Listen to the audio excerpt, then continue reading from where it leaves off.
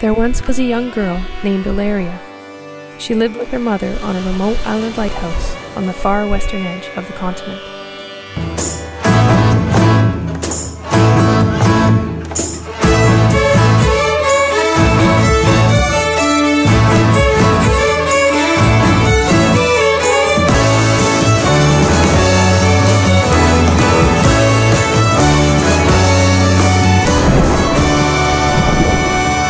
A musical journey across the oceans.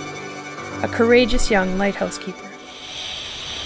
Marine weather statement for the Pacific waters issued by Environment Canada.